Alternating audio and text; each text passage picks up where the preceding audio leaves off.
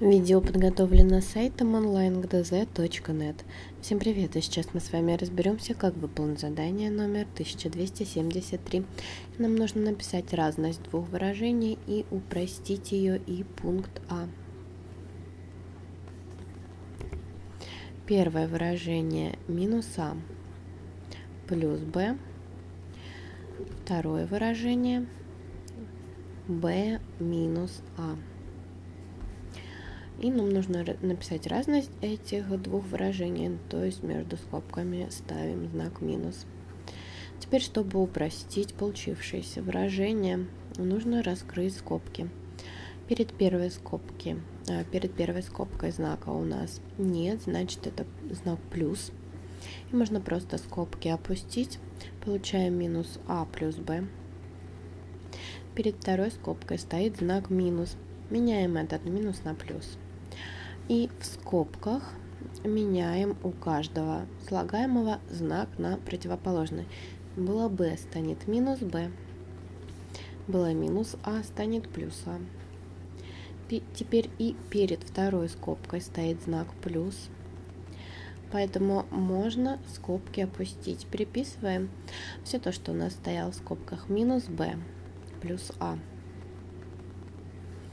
Давайте теперь воспользуемся переместительным и сочетательным свойством сложения и сгруппируем минус а и плюс а.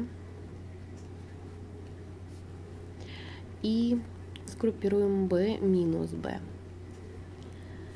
Минус а плюс а это 0, b минус b это 0, то есть все выражение это 0. И пункт b. Первое выражение минус 4 минус m.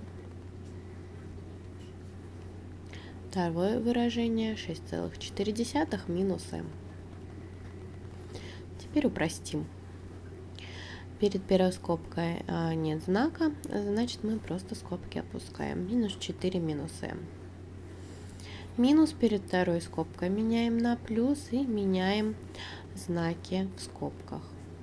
6,4 было, станет минус 6,4, минус m было, станет плюс m.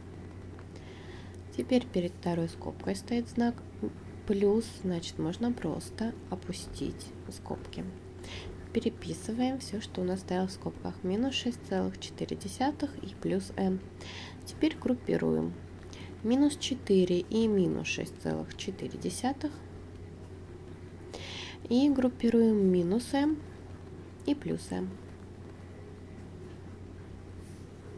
Минус 4 и минус 6,4.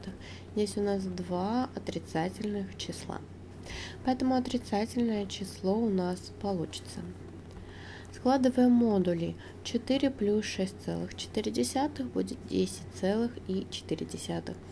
То есть всего мы получили минус 10,4. Во второй скобке у нас получается 0 то есть плюс 0. И все выражение у нас будет равно минус 10,4. И выполнили задание 1273. Ну а если вам понравилось видео, смотрите остальные решения на нашем сайте. Из вопросов, предложений или пожелания подписывайтесь на наши группы в социальных сетях.